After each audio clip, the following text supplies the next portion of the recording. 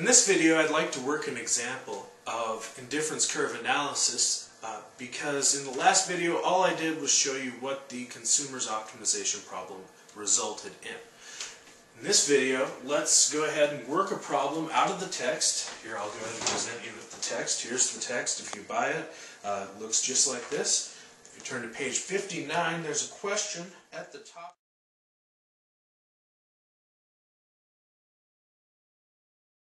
Only consumes two goods, tanning lotion and press-on nails. And here's the information transcribed from that problem.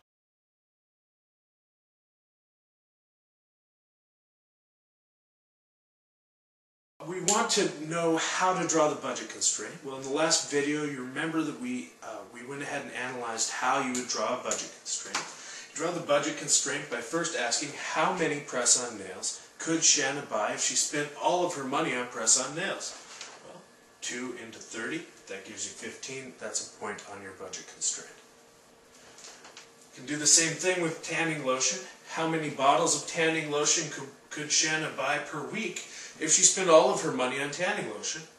It's 4 into 30, we get 7.5. But remember that we have time period of a week here, so you can actually buy 7.5 bottles of tanning lotion per week, even though bottles are indivisible. Um, just by 15 every two weeks. So decimals don't really bother us too much in, in this setting. Shanna actually buys three pack or nine packets of press-on nails and three bottles of tanning lotion. Now we could go ahead and check to see if she spends all of her money, but trust me, I've done the math, it works out.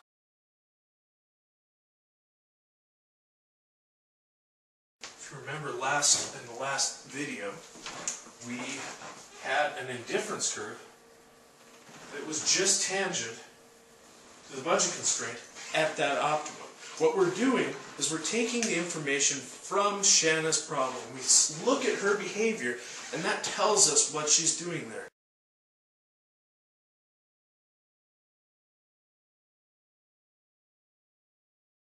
We spend a lot of time figuring out what the slope of this indifference curve looks like. I'm um, just going to go ahead and point that out, that at any point on this indifference curve, we know that the slope is the marginal utility of press-on nails over the marginal utility of tanning lotion marginal utility of x over marginal utility of y. We know that anywhere along this indifference curve, that's the case. We also know from the previous lecture when we constructed that budget constraint that the slope of this budget constraint, the negative slope of it, is the price of x over the price of y. Now notice one thing about the slopes of the budget constraint and the indifference curve at the point of tangency. They're equal. That's how you know that it's a point of tangency.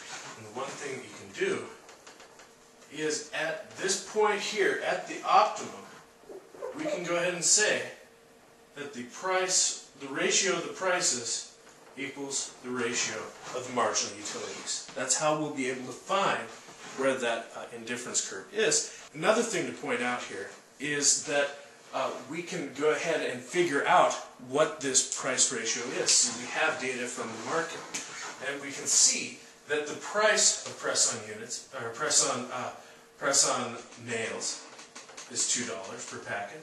Price of tanning lotion is four dollars per packet. So we can actually say that our marginal rate of substitution is two over four, or one half at, at that at that point. So that, that might actually be useful for later, so just keep that in mind. So now let's go ahead and change the prices and ask the second question.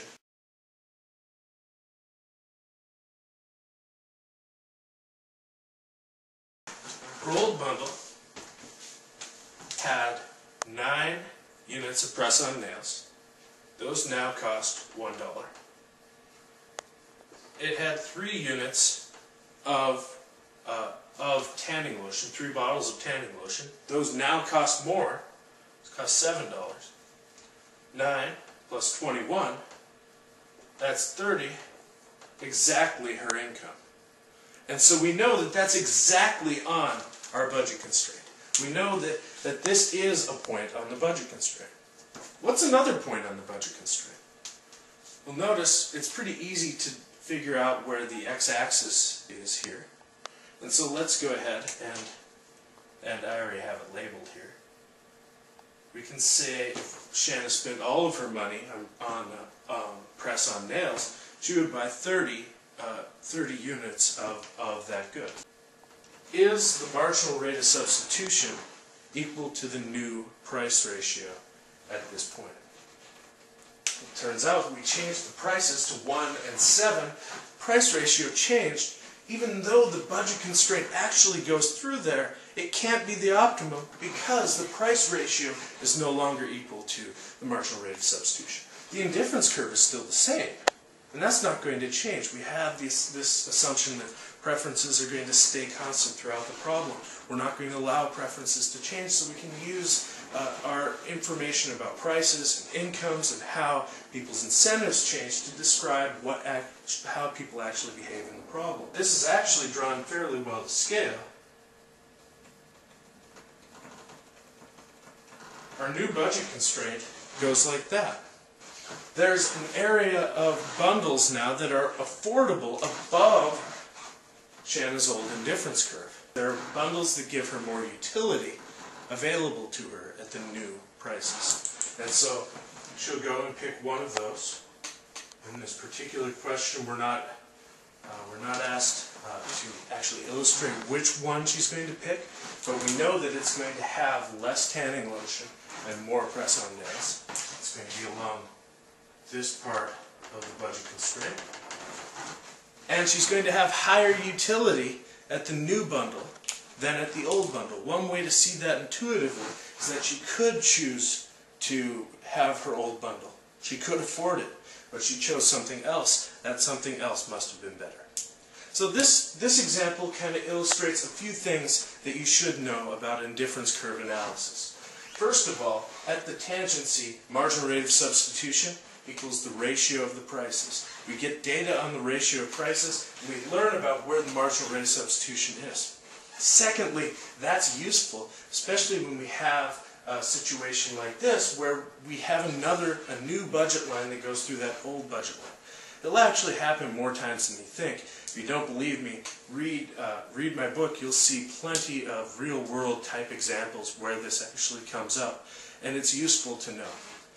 And third, it shows kind of how you can use these indifference curves and budget constraints to make predictions and describe types of behavior that you would see in the world. And it really shows a lot of the usefulness of indifference curve analysis.